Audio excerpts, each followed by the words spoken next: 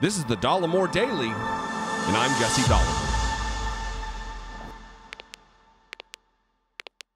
So I don't know what it's going to take. What what seminal moment is going to have to occur for Republicans all over the country to wake up to the fact that their leader and leaders are a facade, uh, just a, a created caricature of what they believe is going to fool the masses that they are tough guys or big, strong, reliable men or patriots. And they do such a poor job of it that we've ended up in a situation where a vast swath of the country believes that because Donald Trump literally hugs a flag, that he loves America. They believe that because he stood out in front of a church after gassing peaceful protesters and holds up a Bible, not his Bible, it's a Bible, that he somehow is a mighty righteous man of God. I know people who believe Donald Trump is a, a, man who goes to church every Sunday and is a faithful follower of Jesus Christ. That's unhinged. People who believe he's a tough guy, when they watch him gasping for air, trying to project himself and present himself as have beaten COVID, I'm totally fine, when he almost just died. Rather than just be like, yeah, it's a devastating disease. And I really went through it, struggled, almost died. He wants to be like, nothing can stop me because I'm Donald Trump. And they believe it, they buy it. So, asking the question, I'm really getting to, for instance, this moment from the hearings last night about the the outtakes of his having taken about an hour to film what ended up being a three minute segment of video um, saying that they're going to hold the, the wrongdoers accountable who breached the Capitol, and if you broke the law, blah, blah, blah.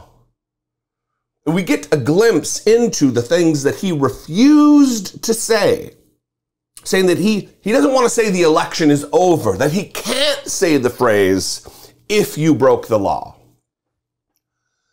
And we, we really do get a glimpse into what a bumbling, fumbling, just uh, the human embodiment of f***ery that Donald Trump is. Just a feckless clown, an embarrassing, just a, a walking humiliation, moment after moment of his life. And he knows it. He knows it so well that it has it has created in him a personality that runs from one minute to the next, projecting himself as something he is not.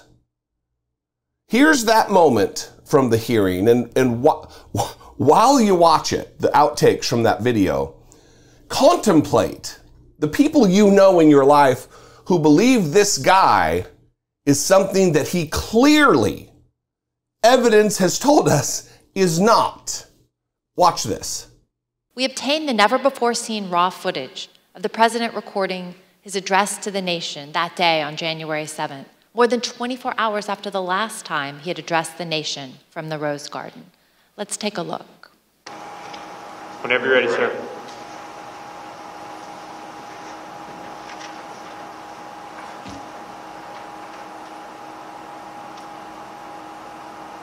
I would like to begin by addressing the heinous attack yesterday. And to those who broke the law, you will pay. You do not represent our movement. You do not represent our country. And if you broke the law, you can't say that. I'm not going to, I already said you will pay. The demonstrators who infiltrated the Capitol have defied the seat of justice. It's defiled, right? See, I can't see it very well. Okay, I'll, I'll do this. I'm going to do this. Let's go. But this election is now over. Congress has certified the results. I don't want to say the election's over. I just want to say Congress has certified the results without saying the election's over, okay? But Congress is certified. Now Congress is Yeah. Right. Now Congress. I didn't say over, so let, let me see. Go, go to the paragraph before.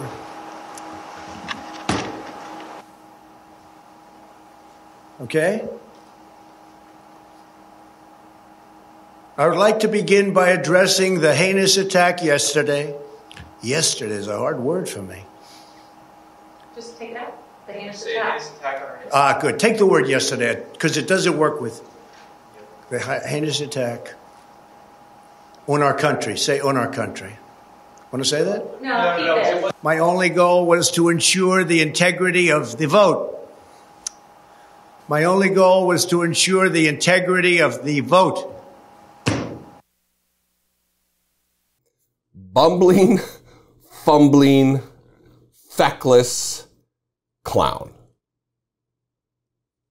It, has been said a lot that Donald Trump is a poor man's vision of what a rich man must be. With the, the golden toilets and the golden crusted house and all the nonsense. He's a weak man's vision of what a tough guy is. The, the beta male's vision of an alpha male because they just can't wrap their head around what it actually is. Because it's not that. This is not a competent individual. I mean, just from a, a cognitive level. Yesterday is a hard word for me. If we're looking at you will pay, I've already said you will pay. I can't say if you broke the law. See, what that rings in my ear is that he had someone chirping in his, giving him advice, saying, hey, listen, you can't acknowledge that they may have broke the law because that will connect you to their crimes. It will make you possibly complicit and open you up in legal jeopardy. The, I don't want to say the election is over. We'll just say Congress certified. Because the lie had to continue. This was J- January 7th, 2021. Months removed from the actual election. The election was over. Certification was over. Joe Biden was well on his way to becoming the 46th president of these United States.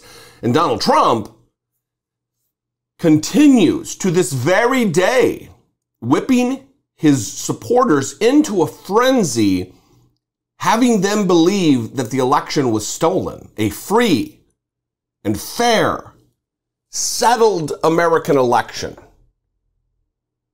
And the takeaway from yesterday was the 187 minutes of absolute inaction. The 187 minutes that imagine if a foreign nation had come and uh, some military unit did the exact same thing to the United States Capitol.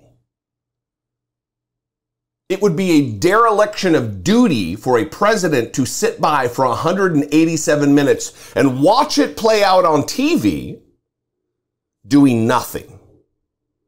There's no difference whatsoever. If you think it would have been egregious for, for, for nothing to be done for a hostile foreign power to do it, why would it be any different for a domestic force to do it? it? It is just as outrageous. And Donald Trump needs to pay. There needs to be consequence. He needs to find himself inside of a jail cell for years to come. What do you think? I would love to know. You can call, leave me a brief voicemail, 714 576 4054. Of course, you can email me daily at dollemore.com. Follow me on social media. I'm at Dollemore on Instagram and Twitter and TikTok, at Dollemore. And if I bring you value, if I'm your flavor of political commentator, please consider supporting my work, helping produce what I do, joining in the mission of helping in some small way to preserve our democracy. You can click the join button below, become a channel member for a buck 99 a month, or you can go over to patreon.com slash I doubt it podcast. I love you guys. I hope you have a great weekend. I'll see you next time. Until I do, be genuine. Take care of one another.